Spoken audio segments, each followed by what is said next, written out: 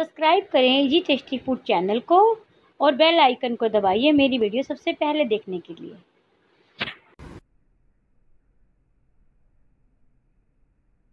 तो फ्रेंड्स मैं मीनाक्षी सेठी, आपके अपने चैनल इजी टेस्टी फ़ूड में आपका स्वागत करती हूँ। आज मैं बना रही हूँ दाल मखनी। यह बच्चे, बड़े, सभी को ही बहुत पसंद होती है।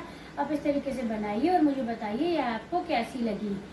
और आप इस तरीके से बनाकर कुछ भी कन्फ्यूज़न लगे तो आप मुझसे कमेंट बॉक्स में पूछ सकते हैं। तो चलिए हम बनाते हैं दाल मखनी।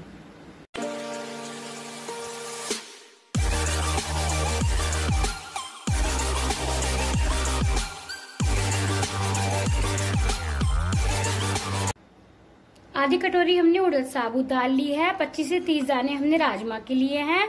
चाहे तो आप राजमा डाल भी सकते हैं, नहीं भी, पर राजमा डालने से इसमें अच्छा स्वाद आता है। क्रीम हमने ताजी ताजी मलाई को पाँच से छह मिनट फैट कर बना ली है। घर में ही अमूल बटर लिया है, थोड़े हमने अदरक के लंबे लच्छे कर लिए हैं, थोड़ा माम रस्ते में कूट लिया है और लहसुन लिया है हमने छः सात तुरियाँ काट ली हैं। तीन बड़े प्याज हमने काट लिए हैं, तीन बड़े टमाटर हमने बारीक काट ली हैं।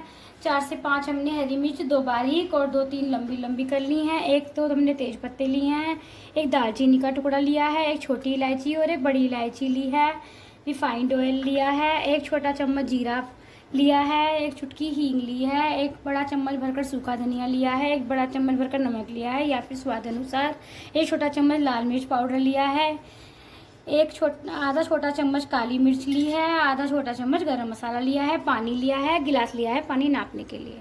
अब हम इन दोनों को मिक्स कर कर राजमा को और माँ की दाल को दोनों को मिक्स कर कर आठ से दस घंटे के लिए या फिर पूरी रात के लिए, कम से कम छः सात घंटे के लिए भिगो देंगे। ये देखिए, हमने ये आठ से दस घंटे भिगो दी थी और कितनी कम ली थी और ये फूल कर, देखिए बहुत ज़्यादा हो गई है, इसलिए कम क्वान्टिटी में ही भिगोइएगा और जब इसे भिगोएँ तो फिर भीगने के बाद, अब इसे पाँच छः घंटे बाद, सात घंटे बाद, अच्छी तरह से ऐसे मसल मसल कर दानों को खोल लें। इससे इसका टेक्सचर बहुत अच्छा आएगा और मखनी की तरह क्रीमी सी बनेगी। राजमा से भी इसमें क्रीमी पन सा आता है, इसलिए थोड़े से राजमा के दाने भी डालें। अब हम कुकर में इसको चार से पाँच बार मैंने इसे धो लिया है।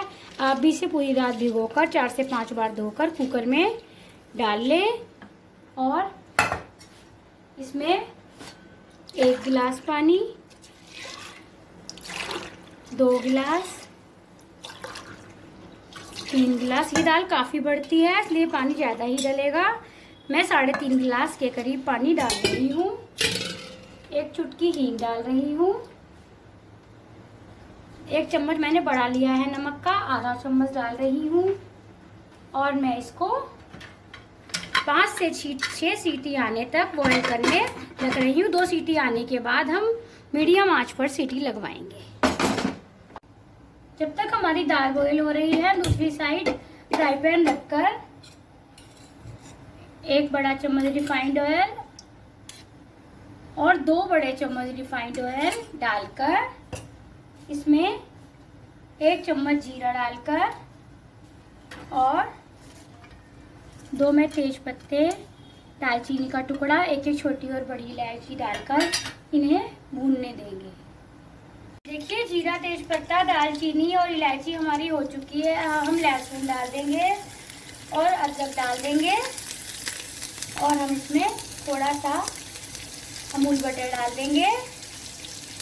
एक साइड ये हो रहा है, दूसरी साइड हम बारीक कटे प्याज डाल देंगे।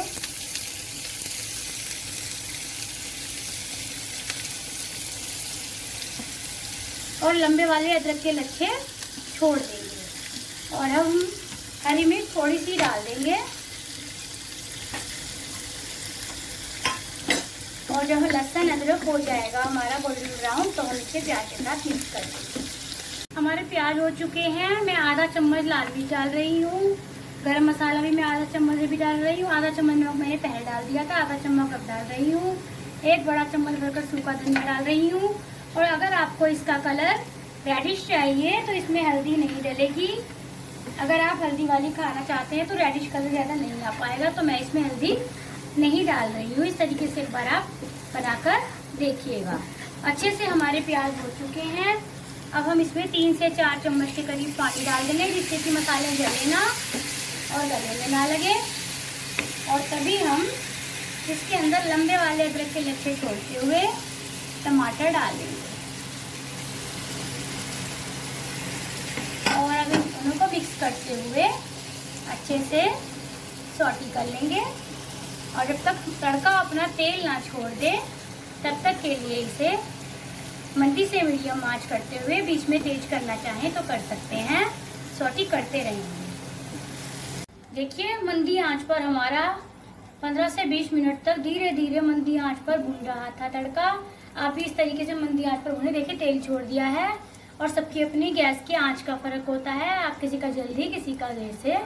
तब तब तक हम गैस बंद कर देते हैं और देखते हैं हमारी, देखिए, छह सीटी आने के बाद प्रेशर भी अपने आप ही निकला है, हमने नहीं निकाला है। और इसे उतार लेंगे और देखेंगे दाल हमारी रल गई है कि नहीं।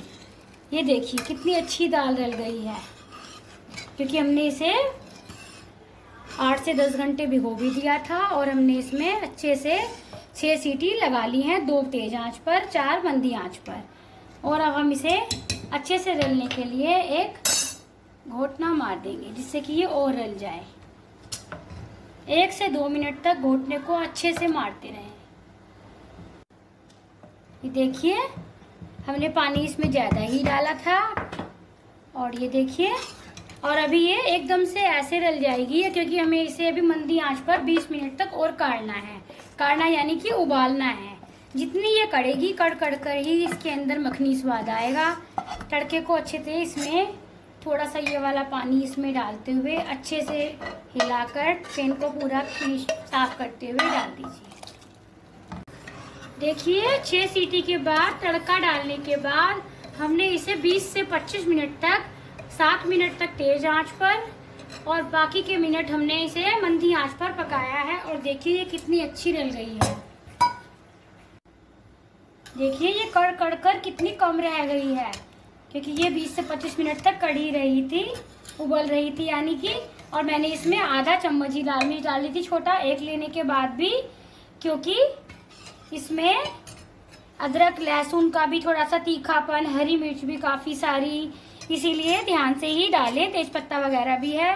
थोड़ा बटर मैं भी डाल रही हूँ, थोड़ा बाद में डालूँगी। थोड़ा मैंने तड़के में भी डाला था और थोड़ी क्रीम डाल रही हूँ।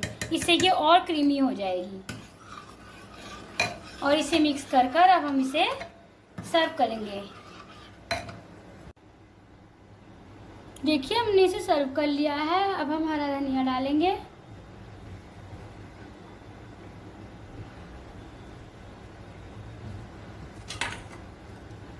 थोड़े अदरक के लच्छे डालेंगे। अगर आपको पसंद है तो डालें, अगर पसंद नहीं है तो आप इसे अवॉइड भी कर सकते हैं। हरी मिर्च, अदरक के लच्छे और हरा धनिया मैंने डाल लिया है। थोड़ा अमूल बटर डालेंगे।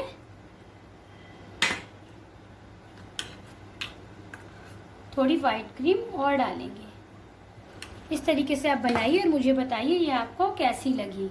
अगर आपको मेरी ये वीडियो पसंद आई हो तो मेरी वीडियो को लाइक करें, कमेंट करें और शेयर करें।